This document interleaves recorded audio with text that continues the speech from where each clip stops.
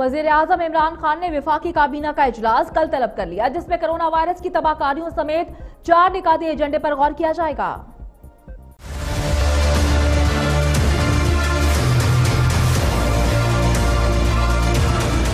وزیر اعظم عمران خان کی زیر صدارت وفاقی کابینہ کا اجلاس کل ہوگا۔ کابینہ چار نکاتی ایجنڈے پر غور کرے گی۔ وزیر اعظم عمران خان ویڈیو لنک کے ذریعے کابینہ اجلاس کی صدارت کریں گے۔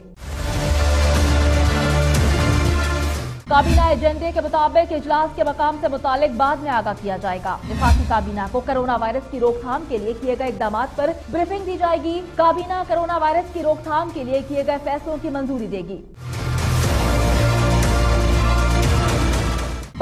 کی جانب سے بجلی کے شعبے سے متعلق کابینہ کو بریفنگ دی جائے کابینہ کمیٹی برائے قانون سازی اجلاس میں کیے گئے فیصلوں کی توسیع ایجنڈے میں شامل ہے۔ وفاقی کابینہ ای سی سی کے گزشتہ دو اجلاسوں میں کیے گئے فیصلوں کی توسیع کرے گی۔ عالمی لیبر کانفرنس کی جانب سے جاری سفارشات اور پروٹوکولز وفاقی کابینہ میں پیش کیے جائیں گے۔ وفاقی کابینہ کرونا وائرس سے معیشت پر پڑنے والے اثرات پر بھی غور کرے گی۔